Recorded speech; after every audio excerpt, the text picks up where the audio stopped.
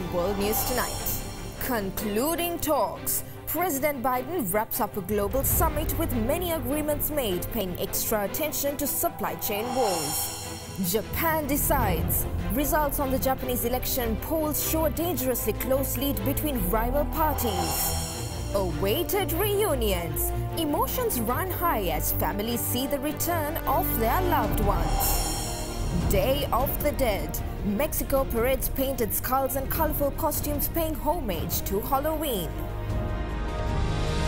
From the global resources of the Derana Media Network, this is Ada Derana World News Tonight. Now reporting from Studio 24 in Colombo, here's Suzanne Shenali. A very good evening and thank you for joining us on World News Tonight. On today's coverage, we start off with a series of in-person meetings held with world leaders. With mounting problems over supply chains holding back the global economic recovery, U.S. President Joe Biden held a summit with his G20 counterparts in Rome. There, leaders agreed to cooperate to strengthen the system and get supply chains moving again. On his final night in Italy, President Biden made a prediction about his long awaited domestic policy agenda. I believe we will pass my Build Back Better plan, and I believe we will pass uh, the infrastructure bill. But a dismal sign back home. A new NBC News poll finds the president's approval rating slipped to 42%, a seven point slide since August and 71% responding say America is headed in the wrong direction. The polls are going to go up and down and up and down. I ran to make sure that I followed through on what I said I would do. Addressing the supply chain crisis hitting consumers at home, today President Biden announced new steps to reduce red tape at ports and urged other governments to ease the flow of goods. Government can play a key role identifying supply chain risks. One piece of the president's domestic spending plan going global. The corporate minimum tax was endorsed by all G20 leaders to require multinational companies pay at least 15% tax. This is an incredible win for all our countries. In a separate breakthrough, the president announced an end to Trump era import taxes on foreign aluminum and steel. In response, the European Union ending tariffs on American goods like bourbon and motorcycles.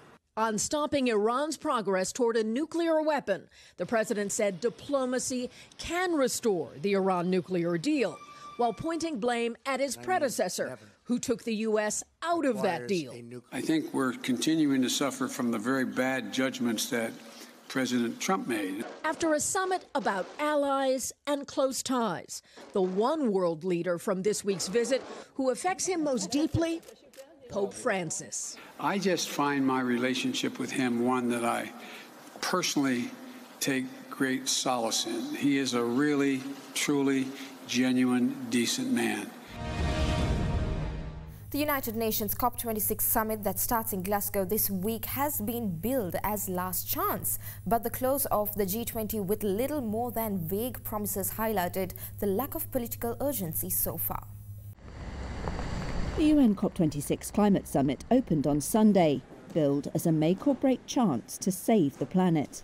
But as one summit began, another ended, the G20 in Rome, which highlighted doubts and anger over whether years of empty pledges would turn into political momentum. COP26's aim is to keep alive the target of capping global warming at 1.5 degrees above pre industrial levels which scientists say is our only hope of avoiding catastrophe. As delegates began arriving in Glasgow, Scotland, COP26 President Alok Sharma said an August report by UN scientists was a wake up call. It made clear that the lights are flashing red on the climate dashboard. That report, agreed by 195 governments, makes clear that human activity is unequivocally the cause of global warming. To the fury of protesters in Rome, G20 leaders urged meaningful and effective action on Sunday, but offered few concrete commitments. Even though the bloc of the world's 20 richest nations is responsible for an estimated 80% of all global emissions. A new pledge last week from China, the world's biggest polluter, to reach net zero, but not until 2060, was labelled a missed opportunity that will cast a shadow over the two week summit. The return of the United States, the world's biggest economy, to UN climate talks will be a boon after a four year absence under Donald Trump.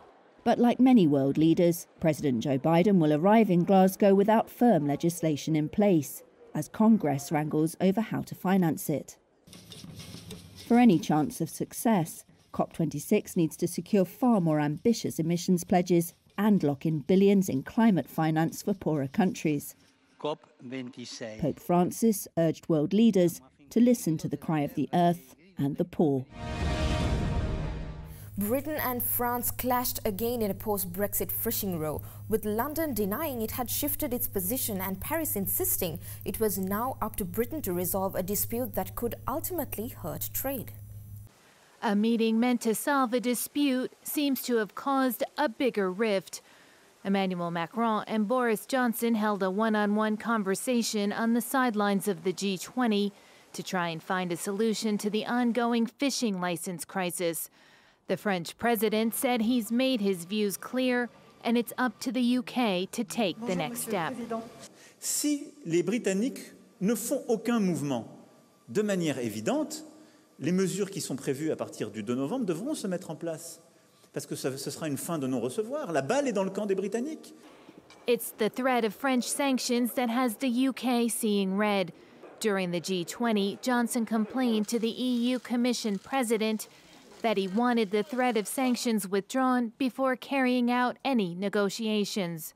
On fish, I've got to tell you the, the, the position is, is unchanged. I, I, must say I was puzzled to read a, a letter from the French Prime Minister explicitly asking for Britain to be punished for leaving the EU. Johnson has called France's comments troubling, objecting to the tone of a letter sent by Jean Castex to Brussels calling on the bloc to demonstrate there is more damage to leaving the EU than remaining in it. France has accused the UK of not respecting its post Brexit trade agreement in relation to granting fishing licenses to French boats. If the issue is not resolved, Paris has threatened to ban British boats from its ports and step up custom checks on products coming into France from Britain. The UK says it's up to Paris to de escalate the situation and has threatened to activate a Brexit dispute tool over the matter. Downing Street has already summoned Paris's ambassador to London for the type of dressing down that's usually reserved for unfriendly states. The French president had made a claim that the Australian Prime Minister lied to him over the cancellation of a submarine building contract in September and indicated more was needed to be done to rebuild trust between the two allies. French President Emmanuel Macron said Australia's leader, Scott Morrison, lied to him over a cancelled submarine contract. It's the latest shot fired between the two countries, as both leaders were in Rome for the G20, meeting for the first time since Australia ditched the multi billion dollar deal with France. Macron spoke to a group of Australian reporters on the sidelines of the summit. I have a lot of respect for your country. I have a lot of respect and a lot of friendship for your people. I just say when, you, when we have respect, you have to be true and you have to behave in line and consistently with this value. Do you think he lied to you? I don't think. I know. Australia formed a new security alliance with Britain and the US known as AUKUS in September. They then announced a new order for nuclear powered submarines. Macron says AUKUS caught them off guard, and later France recalled its ambassadors from Washington and Canberra. Speaking at the conference, Morrison then fired back at Macron. He said he had explained to Macron that the conventional submarines would no longer meet Australia's needs and that they were already rebuilding their ties. On Friday, US President Joe Biden said he had thought France had been informed of the contract cancellation before the AUKUS pact was announced but that the handling of the new agreement had been clumsy. Despite some forecasts, Japan's ruling Liberal Democratic Party might lose its sole majority in the country's general election, it actually performed much better than expected, with the party easily holding on to more than half the seats in the lower house. Ada Derana World News special correspondent Rasida Chandradasa from Tokyo in Japan reports. Prime Minister Kishida Fumio and his ruling Liberal Democrats had a very big election night. uh, yesterday. Uh, election was held throughout Japan yesterday, and the polling booths, the polling stations are closed by 8 p.m. And in Japan, you get the exit poll right after the pollings are closed. So by 8 p.m., we pretty much have 50% of the results, and by 12 midnight, uh, 90 to 95% of the results were out. And that results gave a clear mandate for the uh, Prime Minister Kishida Fumio. His ruling Liberal Democrat won 261 seats out of total 465 seats in the Japanese parliament, which is we call Diet. You know, surprisingly, even the exit polls taken on the election date gave uh, Kishida Fumio and his party around 2200 to 230 seats. And most thought the ruling Liberal Democrat would not be able to get the majority in the parliament. But eventually they, they easily surpassed the majority and with their coalition partner, New Komeito, they, which also got about 30 to 32 seats, they have around 300 seats out of the 461 seats. So what this huge ruling party victory means for the opposition, uh, the opposition leader Edano Yukio had a miserable night. His party was expected to do well and expected to win around 130 to 140 seats, but eventually they won less than 100, which is lower than what they had in the previous parliament. So the surprising results, one of the biggest reason was the Kishida Fumio's party was able to pull out those narrow close victories where they, some of the seats they were expected to lose, they actually won by few hundred votes or few thousand votes. And on the other hand, the opposition party, they, they, they lost seats that they were expected to win. So Kishida Fumio, who had a two to three weeks uh, tenure as his as a prime minister, now have a four-year mandate to rule Japan. But he also have some uh, shocking results. Uh, Amari-san, his general secretary lost his seats. And this is the first ever time in the ruling party's history that a general secretary lost his or her uh, constituency. But he also will be able to go to the parliament due to the Japanese rules. They have also a representative uh, voting that even you lose the constitution, you can have a, a, some kind of a national list that we have in Sri Lanka. But Amari-san is expected to resign from his general secretary post and that would create some problem for the Kishida-san because they had a very good working relationship and Amari-san was expected to support him for the next four years. So the parliament would commence in a few days or few weeks and the ruling Liberal Democrat, they have a super majority, they have a clear mandate to rule four more years and the Kishida-san policies every country including the US and obviously China is looking very closely. One of the reasons for that is Kishida-san belongs to the liberal wing of the ruling Liberal Democrat, unlike his predecessors Suga-san and Abe Shinzo, who actually belong to the who are, who are very skeptic, who are very China skeptic, and they had a very what would say a distance relationship with China. So China is expecting to have a, a closer uh, relationship with Kishida-san. And also, no doubt, Kishida-san's main priority would be the United States. So he has declared that he would make a visit and he would, he would meet the uh, US Prime Minister Biden for a bilateral talk. Let's go into a short commercial break. We'll be back soon with more world news.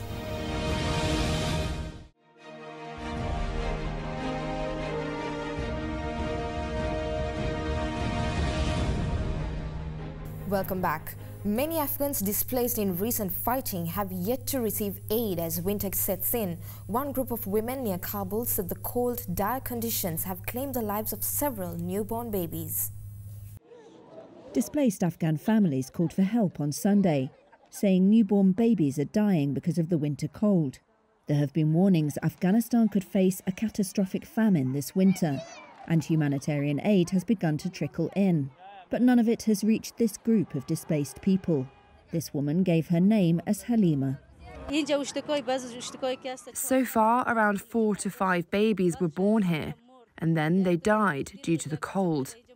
Yesterday, an elderly man and a child who went on the streets to earn money for buying food had a car accident, and both died. We are in a very tough situation. The United Nations High Commissioner for Refugees has said about 50,000 Afghans from different provinces who were displaced by recent conflicts have moved to Kabul. Even before the Taliban's victory over the Western backed government in Kabul two months ago, more than 18 million Afghans, or about half the population, needed humanitarian aid, according to the UNHCR. The freezing weather underlined the urgency in getting assistance to thousands of displaced. Many have fled from the provinces and are sleeping in tents or improvised accommodation around the city. Now on to the updates of the COVID pandemic. Australia eased its international border restrictions for the first time in the pandemic, allowing some of its vaccinated public to travel freely and many families to reunite, sparking emotion, emotional embraces at Sydney's airport. Ada Derana World News special correspondent Timothy Phillip from Melbourne in Australia reports. After 18 months of some of the world's strictest coronavirus border policies that banned citizens unless granted an exemption from coming back into the country, Millions of Australians in Victoria, New South Wales and Canberra are now free to travel. International travellers arrived in Sydney via Singapore Airlines. There were tearful reunions at the airport as family and friends reunited for the first time, with strict travel rules previously prohibiting many people from attending significant events, including weddings and funerals. Most tourists, even vaccinated ones, have to wait to come to Australia although vaccinated tourists from New Zealand will be allowed in. Unvaccinated travelers will still face quarantine restrictions and all travelers need proof of a negative COVID-19 test prior to boarding. The change in travel rules, however, is not uniform across Australia, as the country's states and territories have differing vaccination rates and health policies. Australia closed its borders at the start of the pandemic but as it switched a COVID-0 pandemic management strategy towards living with the virus through extensive vaccinations, borders are gradually reopening. The FDNY is under pressure just hours before the city's vaccine mandate is enforced. Thousands of firefighters and other unvaccinated municipal workers could be on unpaid leave starting today, but some are protesting the mandate. Tonight, the nation's largest fire department under pressure. Just hours before New York City's vaccine mandate is enforced, thousands of firefighters and other unvaccinated municipal workers could be on unpaid leave starting Monday. But some members of the FDNY are protesting the mandate, calling in sick and disrupting essential services. One New York congresswoman tweeting 26 FDNY companies are closed, including five in my district. Engine is open, but the ladder is closed. God forbid there is a major fire or a severe car accident or if a crime takes place, or even worse. Today, FDNY's commissioner firing back. The department has not closed any firehouses, but he did confirm members were calling out sick, writing, irresponsible, bogus sick leave by some of our members is creating a danger for New Yorkers and their fellow firefighters. They need to return to work or risk the consequences of their actions. The mayor adding that there will be contingencies to address staffing issues if they arise, while noting a 91% vaccination rate among city workers Saturday. For days, firefighter unions have expressed outrage over the mandate, asking for additional time to get the shot. My members have not given an op- have been given a proper opportunity to be informed by the Department of the City what's going to happen to them. The vaccine battle is brewing ahead of a critical week to clear COVID shots for more than 28 million 5 to 11 year olds. Many of them out in full force this Halloween, with some families eager for an extra dose of protection. I'm definitely relieved that they can. Um, it's something that I hoped was going to happen sooner than later. Hospitals, including Star Med Healthcare in Charlotte, are ready for the rollout days before the CDC's final endorsement. We have some good news for you. Indonesian scientists have found a way to fight disease-bearing mosquitoes by breeding a species of the insects which carries a kind of bacteria that prevents viruses like dengue from growing inside them. Researchers in Indonesia are fighting mosquito-borne diseases with more mosquitoes, but these are carrying a secret weapon. A joint study has been releasing lab-bred mosquitoes in the city of Jogjakarta, targeting red zones for dengue fever but these bugs carry Wolbachia, a common bacteria found in over half of insect species that prevents viruses like dengue from growing inside them. It's not, however, found in Aedes aegypti mosquitoes, which often carry dengue, according to the nonprofit World Mosquito Program. WMP trial results showed this method reduced dengue cases by nearly 80% and hospitalizations by nearly 90%. Sri Purwangsi is a local in Yogyakarta and a research volunteer. All three of my children have been infected with dengue and hospitalized. It's always on my mind, thinking about how to keep my village healthy. Global dengue infections have risen rapidly in recent decades, according to the World Health Organization. About half of the world's population is now at risk, with an estimated 100 to 400 million infections reported every year.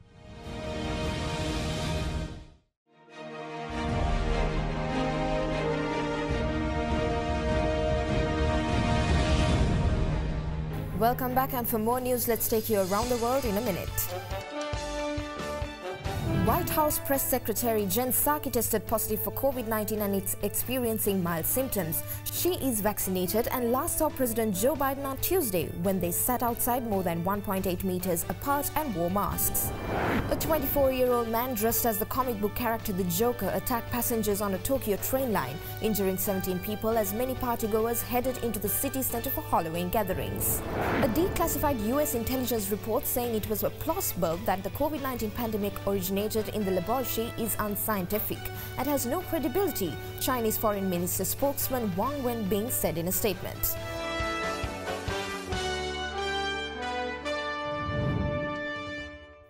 And finally tonight, thousands of Mexicans crowded into the main avenue of Mexico City for a lively day of the Dead Parade, relishing the chance to mark the festive tradition after the coronavirus pandemic cast a thick pall over last year. Most of the mass of the spectators wore protective face masks as they watched colorful floats, bands and performers trundle down the street. Children sat atop their parents' shoulders to catch sight of the procession of floats bearing dancers in indigenous attire and feathered headdresses, scaled-down reproductions of Mexico City landmarks and spectacle figures. The parade is a modern twist on a belief that dates back to the pre-Hispanic era, drawing on beliefs that the dead can return from the underworld to meet with their loved ones. Traditionally, families put up altars dedicated to loved ones who've passed, decorating altars with flowers and sweets so that the dead can find their way back home. Day of the Dead celebrations officially begin on November 1st with the Day of the Innocents to honor departed children. And that's all the news we have for you tonight. You can rewatch this program on our YouTube channel, youtube.com slash English. Until then, I'm Suzanne Shenali and stay safe and have a good night.